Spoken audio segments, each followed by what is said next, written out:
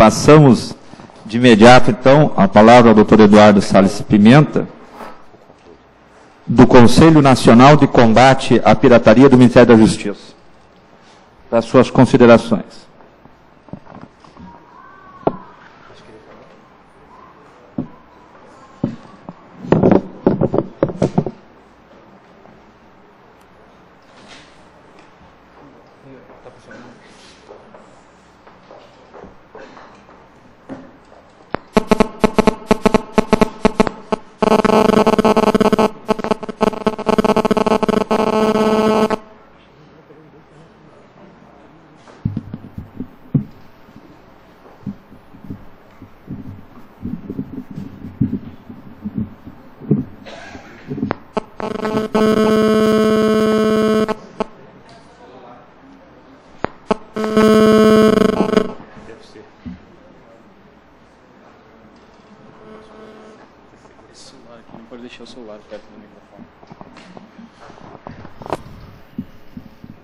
É, boa tarde a todos.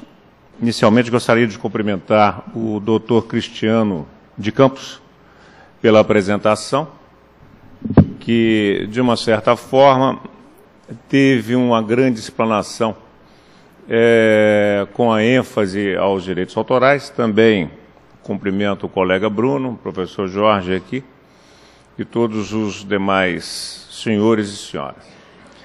É, nós fizemos uma análise um pouco, bastante diferente do que o, o Bruno me antecedeu, mas muito mais de encontro com o que o doutor Cristiano expôs.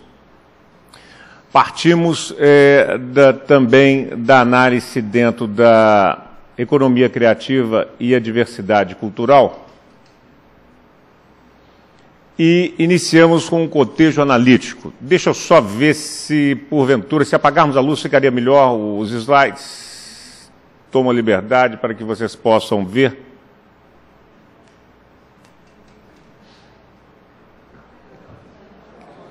Ao contrário. Isso. Pois bem, então aqui nós começamos, até para uma compreensão da matéria, é, compreender o que, que viria a ser a economia criativa, e aqui teríamos a economia criativa, tanto dentro da sua origem, conforme já me antecederam, na citação do conceito da Austrália, em 94, e que se baseia, que baseia no trabalho criativo, uh, ligado às tecnologias como aliado a uma política cultural. Uh, há diversos uh, fatores de compreensão que vão favorecer a diversidade cultural, incluir os conhecimentos e técnicas tradicionais numa perspectiva contemporânea. Bom, isso eu não vou me alongar, até porque já foi eh, dito anteriormente, me faz necessário também trazer o, o, referente à definição de diversidade cultural. Digo a definição legal, haja visto o teor do artigo 5º, inciso 2 da Constituição Federal, que diz que ninguém é obrigado a fazer ou deixar de fazer algo, senão em virtude da lei. Razão disso é que trouxe o decreto 6177-2007, onde que traz essa convenção, obviamente citado referente à diversidade cultural, em que temos a multiplicidade de formas pelas quais as culturas e os grupos de sociedades encontram a sua expressão. Ora, dentro do, do fator cauda longa, uh, aqui nós alcançamos o que, seria especificamente a cauda longa que o próprio Cristiano apresentou, uh, dentro de um critério muito mais de compreensão de faturamento, por que não de lucro. E aqui estaria a, o quadro demonstrativo disso, repetindo é, o que o Cristiano havia comentado. E Surge então uma plataforma que nós devamos ter, pelo menos, em mente. Qual é o fato ativo a justificar a análise economia criativa e diversidade cultural? Já visto que quando tínhamos ah, simplesmente a manifestação, eh, a expressão da criação intelectual apenas no âmbito analógico, essa concepção era estritamente delimitada. Então, o fator, o fator elementar foi a internet. Da internet, então, surgiu dois tipos de habitantes. a população imigrante digital, que evidentemente é a minha geração e a que me antecedeu, uh, e o nativo digital, que já são dos meus filhos, porque já nascem é, trabalhando na internet, movimentando na internet. Então, são dois tipos de perfis, por consequência, dois tipos de consumidores com valores e princípios completamente diferentes, tanto da geração que são os imigrantes digitais, quanto dos nativos digitais. E aqui se justifica, então, a, nós termos primeiro uma concepção a justificar e compreender o cauda longa, posto que uh, a internet tem uma população de 1 bilhão 244 milhões de pessoas, ou seja, supera apenas estando atrás da China e da Índia. Uh, podemos ver que o Brasil, em termos de milhões de usuários, está ali em oitavo, em oitavo lugar. Já há manifestações de que o Brasil está em sétimo lugar. Isso para con, con, con, fazer a contestação, constatarmos que a população da internet hoje aumenta gradativamente de uma forma é inexplicável no seu sentido de concepção, mas compreensível no seu sentido de, de usuários. Para que vocês tenham uma ideia, são 50 milha, 54 milhões de smartphones para esse ano, ou seja, todo mundo vai estar plugado é, na internet. E aqui nós temos aquilo que podemos mensurar qual é a comunidade Facebook, o volume de pessoas hoje existentes. 800 milhões de pessoas, de perfis, com 204 para o Brasil. E aqui nós podemos mensurar como isso reflete diretamente na economia. Com a publicidade, a internet movimentou no primeiro semestre de 2011 14 bilhões e 900 milhões de dólares. É, isso um comparativo em relação ao, ao anterior foi de 23%. É, por cento. Em displays, o movimento foi de 5 bilhões e meio de dólares. Eu, obviamente, estou sempre citando a fonte para não colocar o hiato de, da exposição ficar como um devaneio criativo do expositor.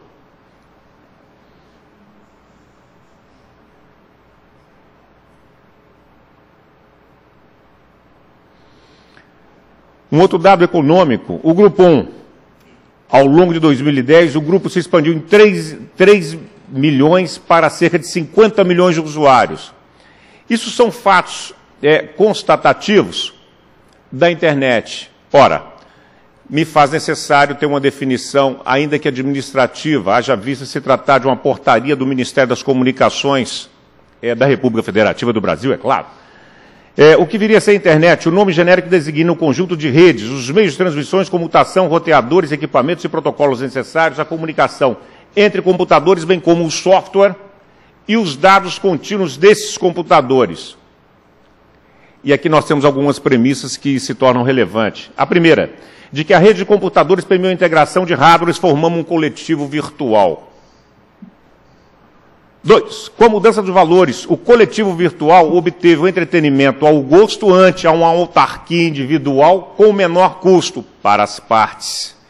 Isso traz um diferencial enorme de comportamento que só é percebido em ambiente virtual. Fomentando o empreendedorismo virtual, a criatividade, mais a organização, veja o sucesso, compreende-se isso como resultado o lucro. O objetivo, permitir o imediato acesso do consumidor ao produto de seu interesse, é o que nós constatamos.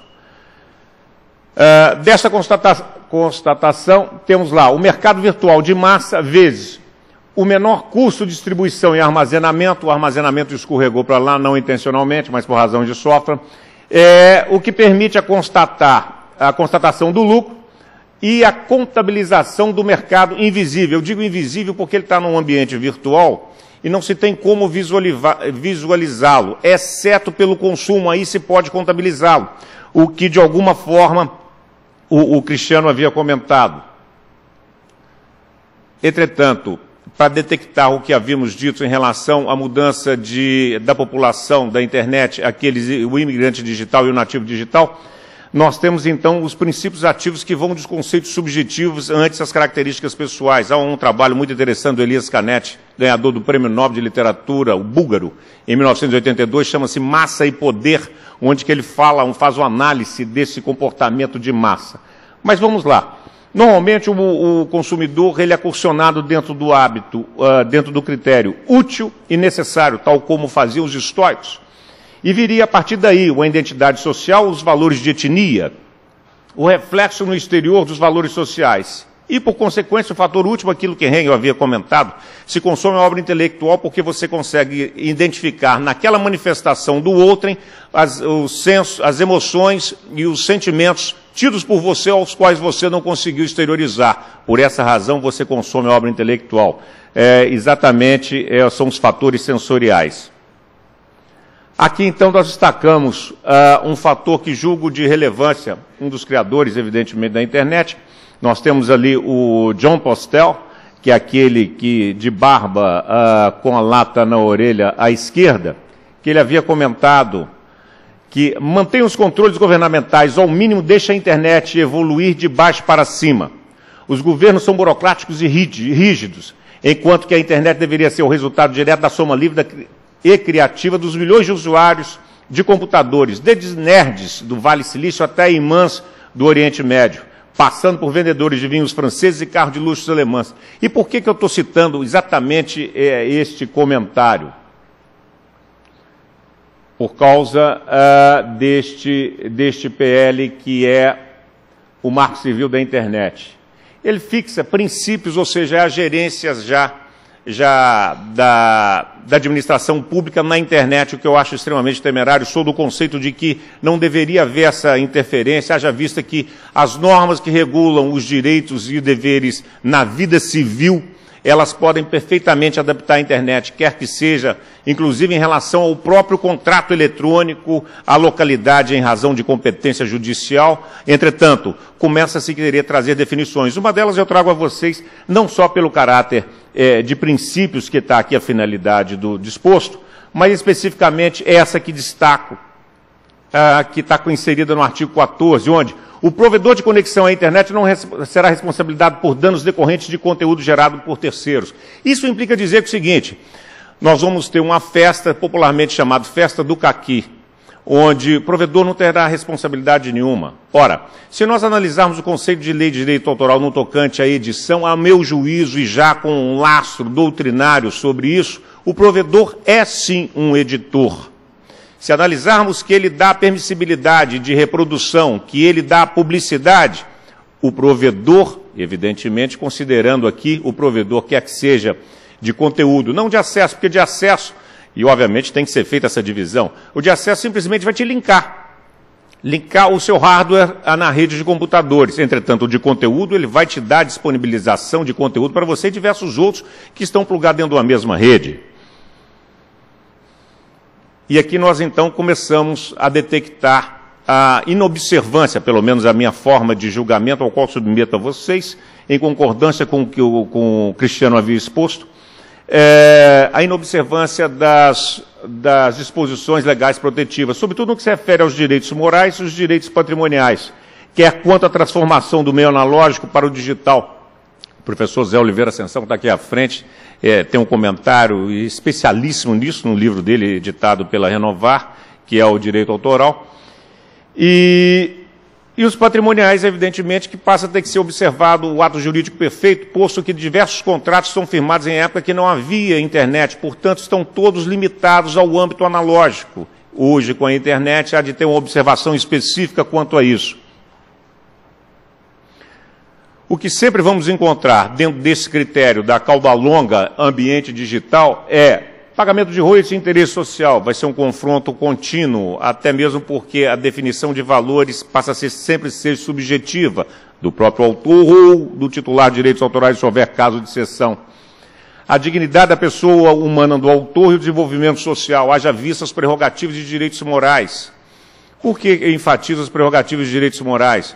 Porque é, sou contrário àquela concepção de que é, o consumidor, direito autoral só existe por causa do consumidor. Não.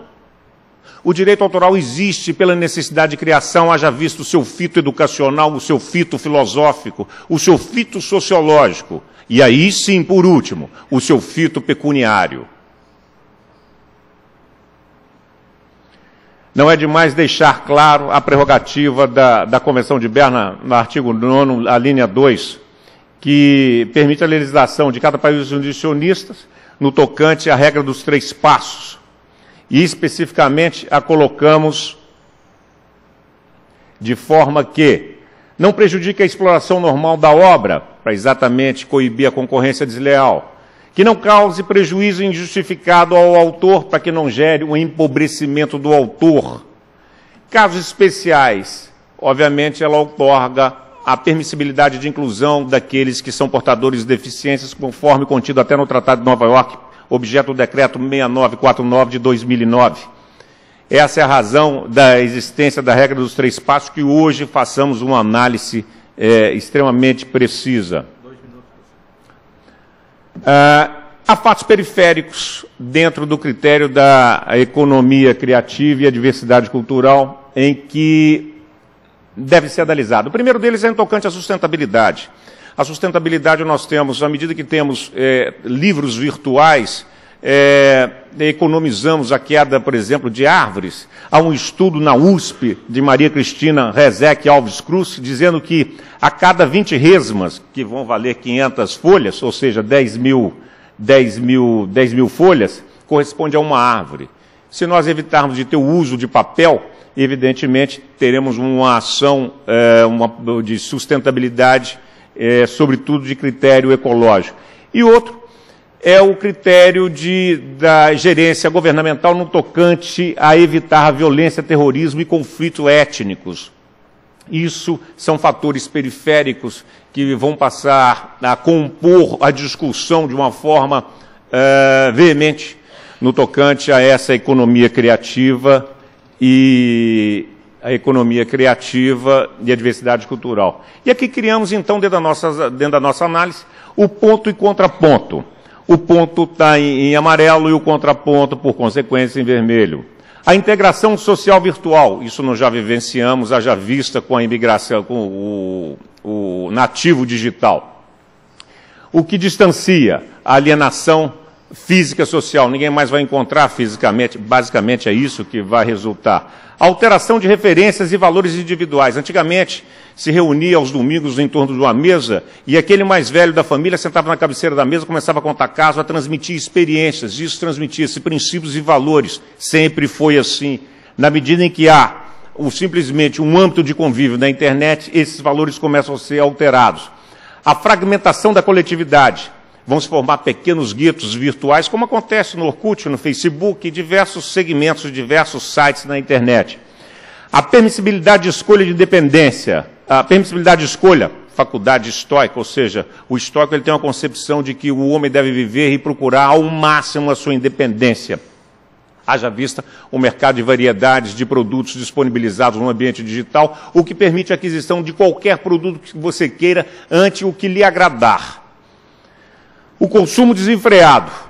Evidentemente, você tem um consumo para você tem os objetos do mercado de variedades, para consumir o quanto quiser, quantas vezes quiser. Em contraponto, isso só é possível, haja vista o bem disponível ao menor custo de fácil acesso. E a maior valoração do bem virtual. Isso é, vem como contraponto à desindustrialização e, por consequência, isso vai gerar um desemprego. Eu estou simplesmente fazendo uma constatação, posto que o equilíbrio se torna o mistério, o objetivo de todos os estudos, de toda análise. E, em conclusão, é, os conflitos de interesse sempre existirão, sobretudo o mundo virtual, que nos permite ter algumas conclusões. É reversível o comércio eletrônico. A diversificação de produtos e bens aumentam em opções. O comportamento sociopolítico uh, e econômico do consumidor é fiel ao seu gosto e princípios, manifestado pela sua liberdade de escolha. A legislação civil regula os direitos e deveres das relações, inclusive as eletrônicas na conformidade da localidade. O acesso à rede de computadores pode ou não sofrer restrição em razão da política pública. Ora, isso que expomos a toque de caixa, já vista a nossa limitação temporal, é simplesmente para fazer uma constatação de tópicos esparsos em que vocês fazem, vocês farão a linkagem e a conexão dentro desses tópicos. Quero, antes de encerrar, apenas agradecer ao professor Denis, que fez a citação do nosso trabalho, que há 15 dias atrás foi lançado em São Paulo, e tivemos a prerrogativa de contar com a colaboração de dois professores aqui presentes, o professor Zé Oliveira Ascensão e o professor é, Newton Silveira, que não haviam recebido os exemplares ao qual fizemos a transmissão. E parabenizar o doutor Cristiano pela brilhante exposição. Muito obrigado a todos.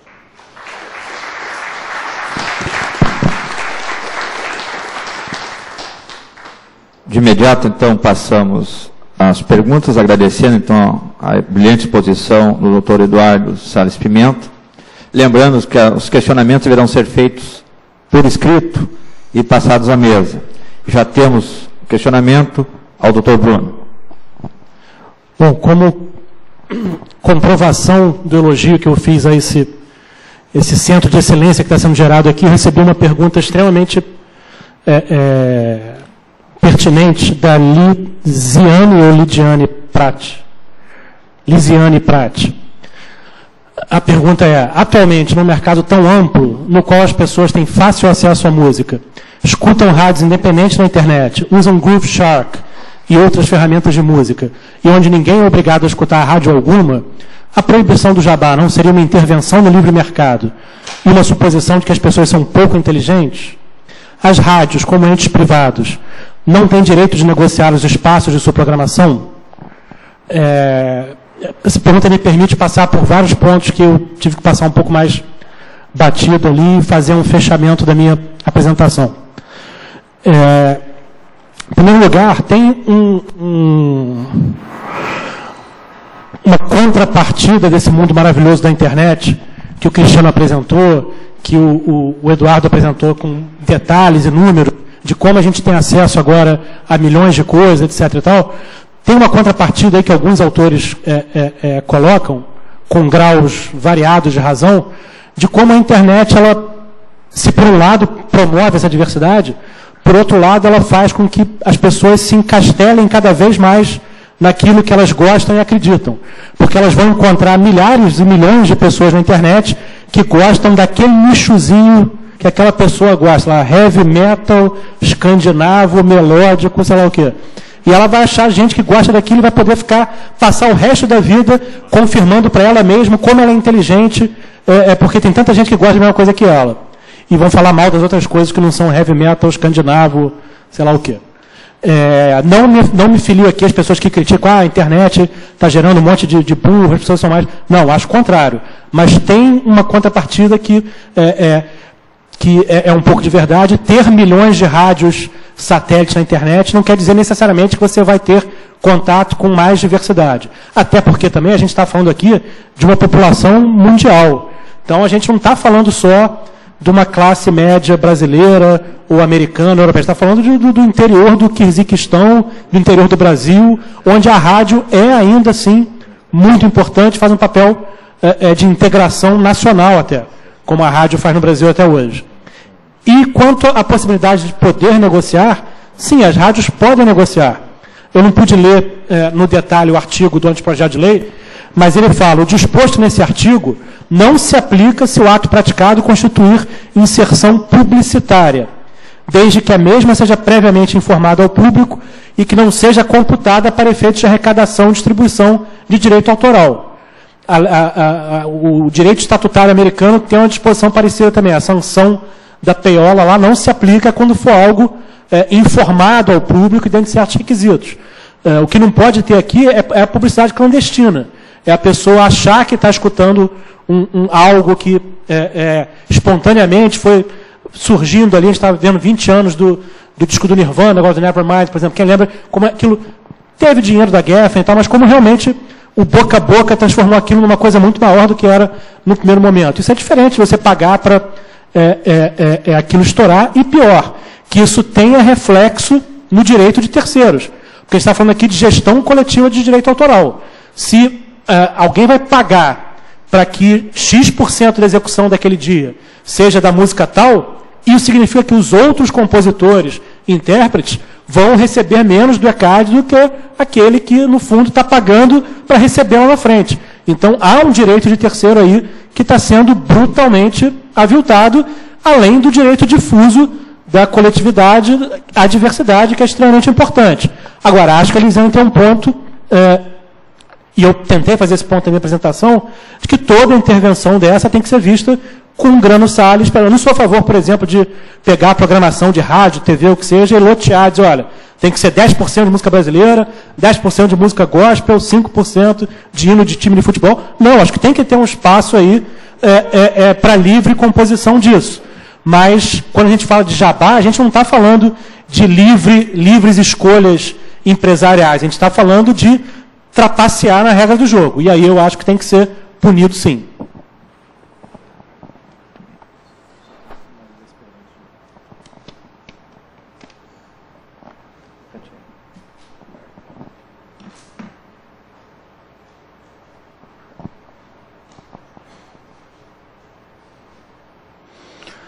É, tem uma pergunta aqui é, no seguinte teor.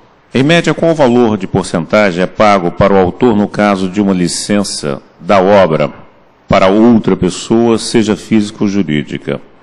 Bom, não existe é, tabela definida e específica para pagamento de porcentagem. Isso fica a livre negociação é, de, do titular de direitos autorais. Dou um exemplo.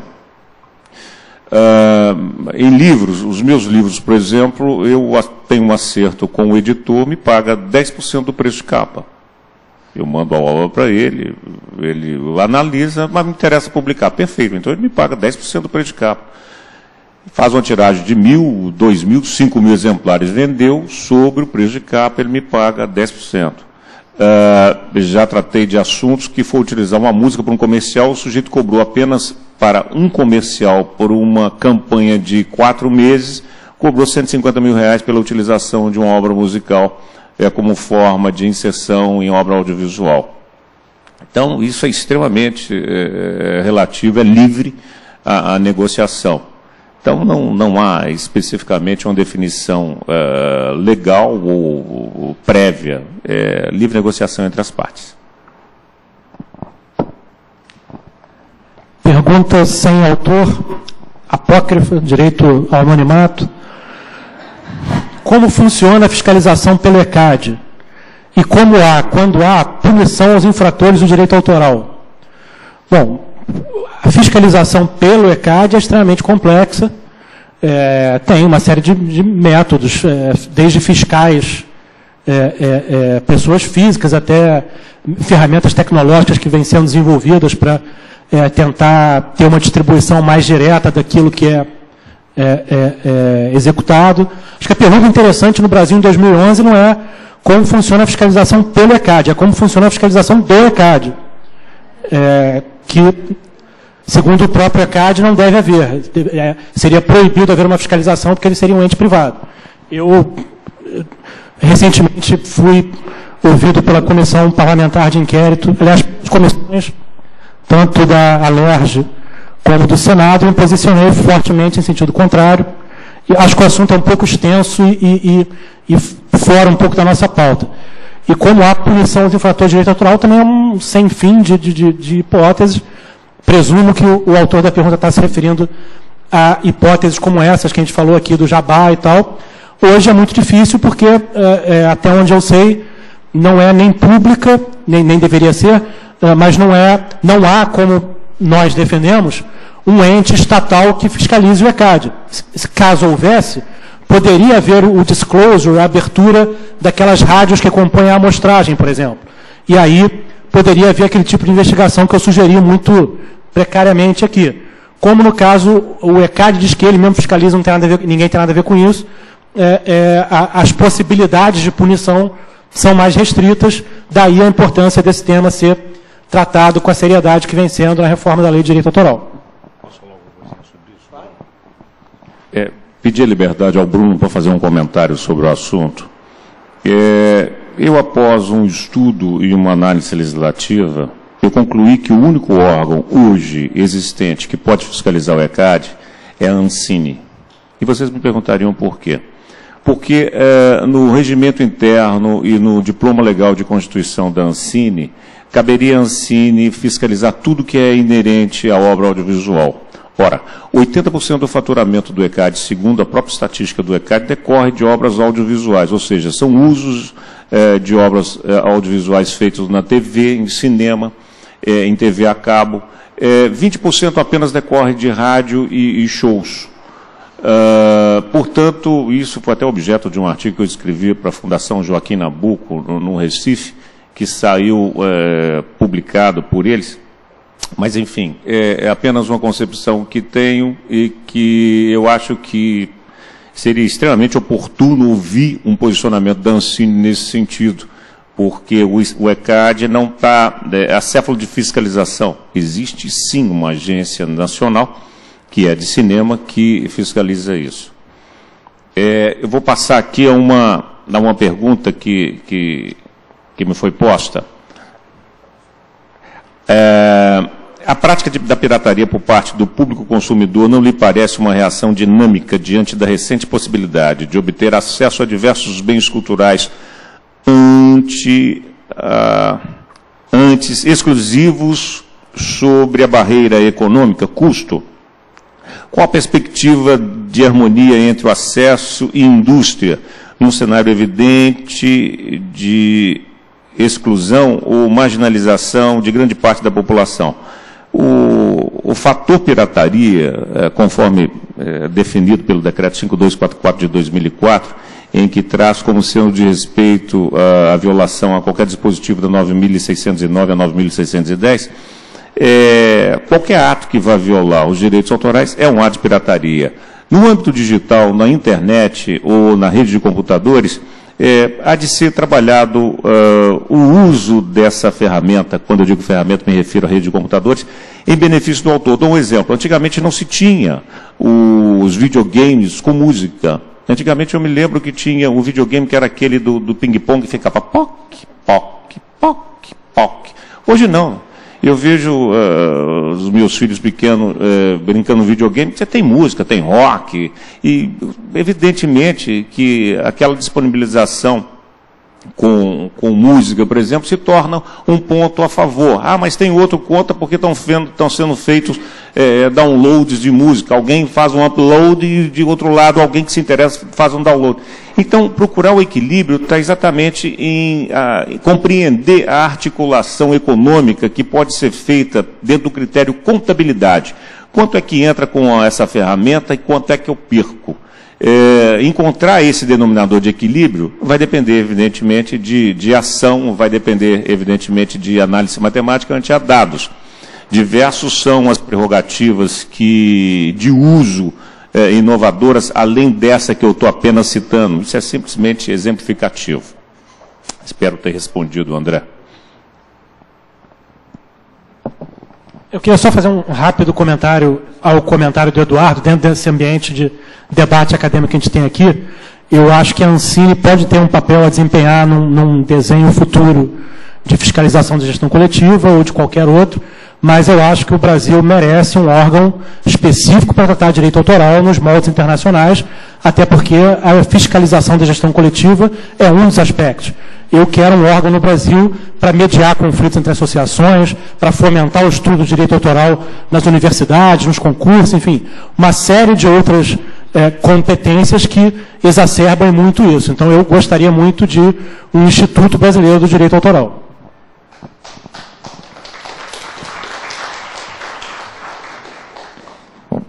Bom, só para lembrar é, que o doutor Eduardo Pimenta referiu-se à responsabilidade dos provedores de conteúdo, o STJ tem decidido, a, a exemplo do que já tem, fei, já tem feito os tribunais estaduais, no que tange a responsabilidade dos provedores de conteúdo sobre o seu conteúdo, por óbvio, e os provedores de acesso, não como forma preventiva, como forma de fiscalização, mas quando solicitado pelo pela, pela parte eh, prejudicada, não necessariamente via judicial, mas quando solicitado, a obrigação de retirar. Em não retirando, aí então a responsabilidade. Bom, pelo adiantado da hora, nós não poderemos responder aos questionamentos que estão chegando depois, por óbvio, os palestrantes que ficarem porque o doutor eh, Bruno tem um voo daqui a alguns minutos, e por isso a necessidade também que encerremos. Agradecemos a organização do evento, ao GEDAI, aos colegas uh, do grupo, especialmente o Dr. Marcos Wachowski, uh, o convite, a possibilidade de aqui estarmos participando desse fórum que tem se tornado, sim, um ponto de destaque uh, no que tange ao direito de autor, ao direito à informação e à propriedade intelectual. Com certeza falamos, falamos em nome de todos os que compõem a mesa. Dito isso, agradecemos a presença de todos e já imediatamente começa a, a, o, o painel seguinte. Obrigado.